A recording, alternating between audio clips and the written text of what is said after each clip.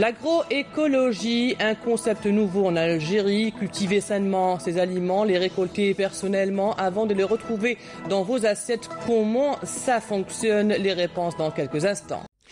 L'agroécologie est un nouveau concept développé par l'association Turba.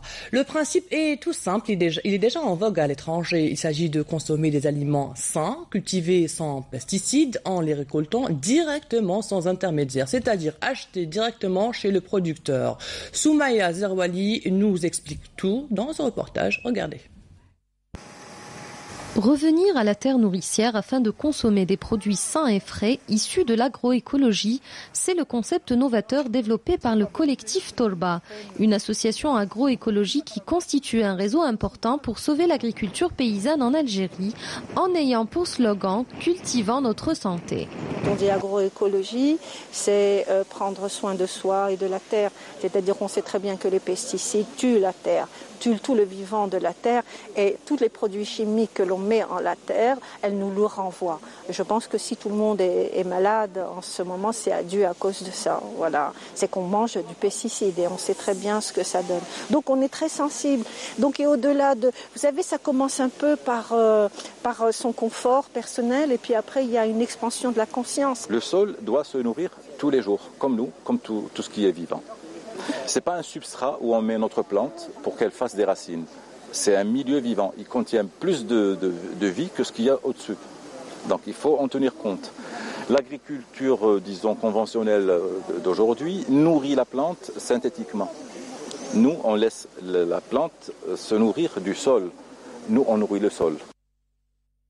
Ces amoureux de la terre ambitionnent à développer une agriculture urbaine en appliquant les techniques de la permaculture qui consiste à cultiver ses fruits et légumes sur les balcons, les terrasses, les parkings ou tout autre terrain se trouvant en périphérie des zones habitables. C'est pourquoi les membres de l'association expérimentent des jardins partagés comme ici à Bouzéa ou Siara, un centre de formation et d'insertion professionnelle des jeunes. Ici, dans ce centre-là, on a intégré une formation pour les jeunes en agriculture saine. C'est-à-dire, euh, on fait de l'agriculture euh, biologique, on amende le sol, euh, on fertilise le sol par des produits sains, avec de la nature, et on, a créé aussi des jardins partagés.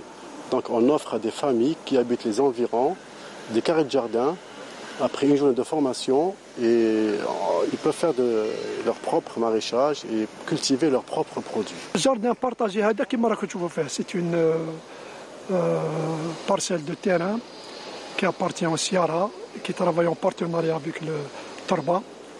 Et le but, c'est de cultiver, utiliser le, terrain. c'est une expérience euh, magnifique. D'abord, on est au contact de la terre. Euh, pour moi, c'est une passion. Ou euh, j'aime la terre. Et en plus, surtout, c'est du bio, c'est du naturel. On en a marre de ces produits. Euh, qui n'ont rien à voir, qui n'ont rien à voir avec nous et qui nous ont appauvri le sol. Encourager et sensibiliser le consommateur algérien à vivre dans le respect de la terre, de la nature et de l'environnement, c'est l'ambition de cette association innovante qui ouvre la voie à une agriculture biologique en Algérie et rassemble autour d'elle des centaines d'amoureux des aliments bio.